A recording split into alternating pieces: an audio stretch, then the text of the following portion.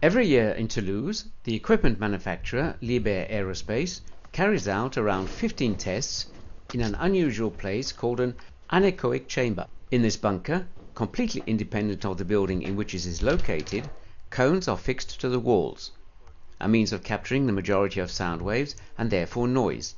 Here the teams measure the real noise generated by an air conditioning pack, for example.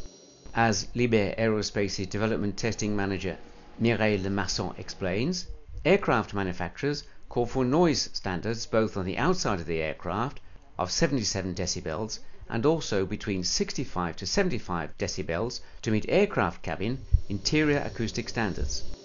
To measure the noise level of the equipment per se, the pack must be positioned inside the chamber.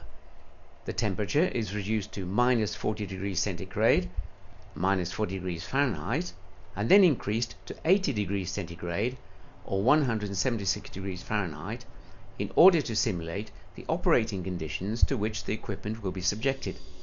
However, to measure the noise of the equipment's outlet air, the air conditioning pack is installed outside the anechoic chamber in this room. Once in operation, the outlet air is then released into the awaiting chamber, in which they have a large number of microphones waiting to measure the exact acoustic level emanating from their equipment's air outlet. Around one week's testing may be required for each piece of developmental equipment. If the noise level meets the regulatory standards, it can be marketed.